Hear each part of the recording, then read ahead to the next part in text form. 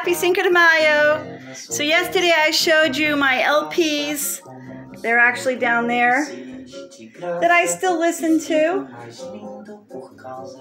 And today, um, well, this by this weekend, I had hoped to get all my spring cleaning done before Mother's Day. Um, I got one closet clean, and now I'm cleaning cleaning another closet. Although it's not really a closet, it's my French doors, which I made into a closet. I pulled the curtains over and I shut the door, and there you go.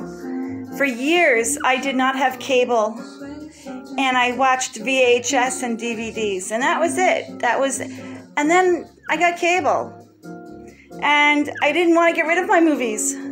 I still love my movies, but I don't love Netflix.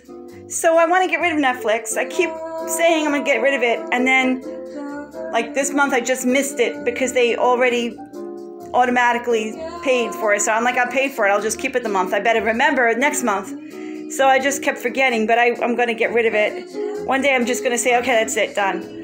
Um, but I have all my movies sorted out by mood. You know, they're not alphabetically sorted. I have drama, comedy, uh, romance, um, suspense, law, uh, action, you know, sci fi, musicals, um, you know, like that. I have religious, uh, classics, you know, like that. So, um, and some children's movies I still have. Um, but yeah, I'm to go back to watching my movies.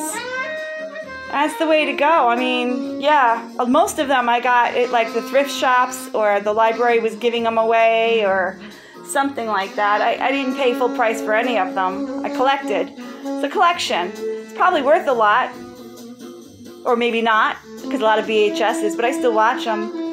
Um, yeah, and the other thing is, um, oh yeah, remember in the old days we used to make like photo albums and we used to put fabric and lace around them and make them all frilly?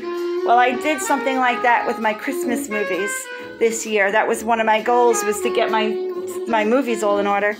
And so this is what I made. I made little Christmassy, um, has like red piping around it. And my Christmas movies. So, yeah, I'm so excited to get this done, finally. Um, I had to build with foam board another organizer thing to stick more on top because I got overflowed and I have to remove things. But yeah, making progress, making progress. So yeah, I'm trying to get off of, um, you know, Netflix. um, I have some cable thing. I do have cable because I have to have internet. My company here in Connecticut charges you more if you have internet alone in New Haven, if than if I had a package of cable and the internet. So I'm stuck with the cable, although I don't have it connected because I have a Pluto. I mean, a Pluto. I have a Roku stick. So I watch other channels like Pluto. I can watch what I want on Pluto and um, Roku channel. So I don't really need Netflix. I mean, I have enough, you know.